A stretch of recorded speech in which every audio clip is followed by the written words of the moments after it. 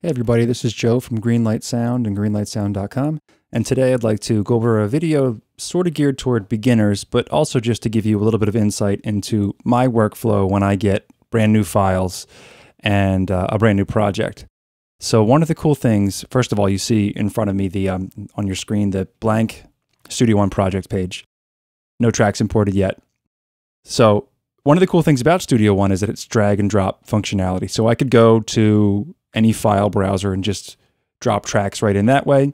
But built within the program, you also have this file browser, which is sort of convenient for a couple of reasons. First, all the tracks are laid out right in front of you. And second of all, you can work with stereo files in a certain way, which I'll show you in a moment. But first of all, if you're a mix engineer, one of the things you might want to request from your clients is that you get your tracks when delivered to you well labeled. These are, they're numbered, they're in a great order, they're um, labeled as well with what the sound is. Sometimes you'll get tracks that are just track one, track two, track three, track four, track five, and so on. And you have to sort of go through each one, solo it up, see what the sound is, label it yourself. And it's a lot of time added to your workflow. So, well labeled tracks and having tracks that'll start at the same time and are in sync time wise are two big things you might want to request if you are a mix engineer. Second thing, you'll notice that over here in the audio files, track one left, track one right. These files were sent as multiple mono files.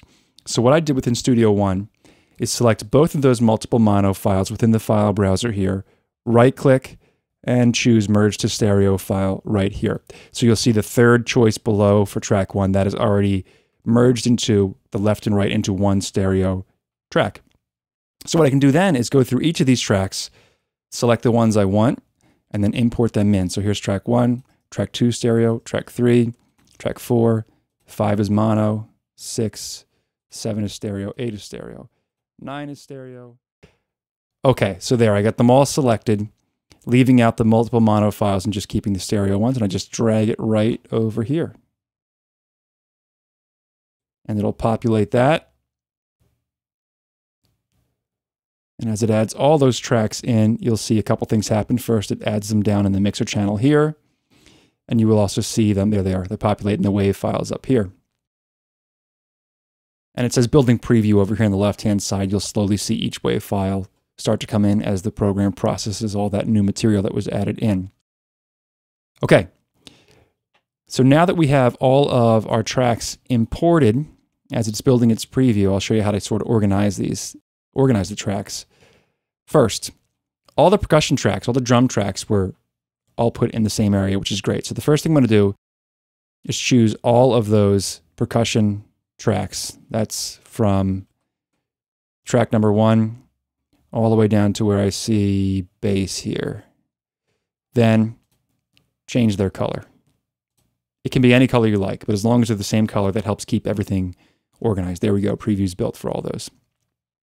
Good. So all the drum tracks are labeled, or sorry, are, are organized into one color. Then right down at the bottom here, you'll see some percussion tracks. We may label them a different color later as we route them out to somewhere else. But for now, just think percussion drums all in the same place. Okay, down here we have a bass track. I'll give that a different color, sort of a light blue. Acoustic guitars, DI tracks, amp tracks. These are all guitars. So amp, amp, DI, DI. And I'm finding it all the way down right here. It looks like our guitar tracks label them all the same color. Now, number 46 here, I don't know what track this is exactly. I can look over my file browser. It's a pad. Okay. So these two, I'm going to leave sort of a yellowish color. They're synth tracks. Lead vocal track. Set a color there. Vocal doubles, harmonies, background parts. Now these wahoos, I'm not sure what they are, so I'm going to listen. Uh, There we go. They are vocal tracks as well. Harmony, harmony, harmony. Great. So all those are background vocal tracks. Leave them sort of a purplish color. So now all the tracks are organized here. I see all my drum tracks, one color, and in the mixer faders down here, they're all that same color. They reflect what you have up here. Um, bass track one color, all the guitar tracks one color, synths one, lead vocal one, background vocals another. So helps keep things well organized. This is a, um, a reference track down here, which I'll, I'll keep a red label on, red color on. So then what I'd like to do is get all of my kick tracks, which is the first five. Okay. They're all highlighted down here now. What I'm going to do is hit, I made myself a shortcut, Option B, create a bus for those. And I'm going to call that kick master. And that allows me to get all of these routed to the same track so I can have my processing for all the kick tracks on the same track and sculpt my kick sound there. If I take that same process for the snares, all those, option B, and I have a snare master track. The rest of these are percussion. So what I'm going to do is now click my kick master, command, hit my snare master, get the rest of these included here, and create another bus for that, which I will call all drums. That's a master track where all of these uh, kicks, snares, and hi-hats and so on get routed to. Give that a color, doesn't matter what, I pick green. Then I go over to the acoustic guitar tracks here, past the bass track, click all of these guitar tracks. Hit Option B, or I could right click and choose it as well and hit all guitars. These two are synth tracks. Option B, all synth.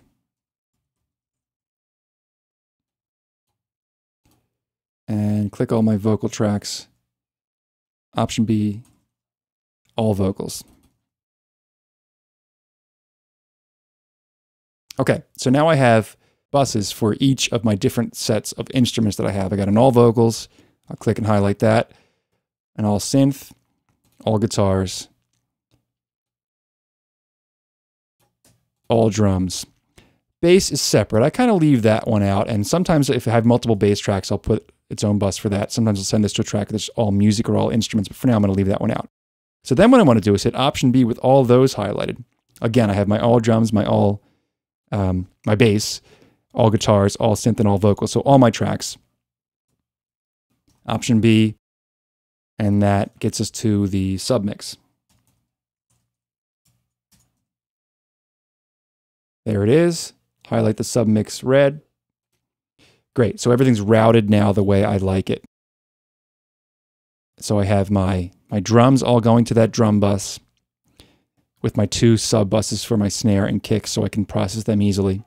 All my guitars going to the same bus all my synths and vocals going to the same bus, and all those then fed into the sub mix or sub master channel, whatever whatever you want to call that. You can call that any number of mix bus, any number of words you want to use for what you call that. Um, and once I get those all organized, then I feel like I can start the process of balancing a little bit, and that'll be in another video. But just wanted to give you guys a quick, I guess, rundown of how I import all the tracks in, how I manage those stereo files, and how I get everything organized before I even start mixing. So I hope you enjoyed the video. If you have any questions or comments, let me know in the comment section below. Don't forget to subscribe, and I'll see you in the next video. Thanks for watching.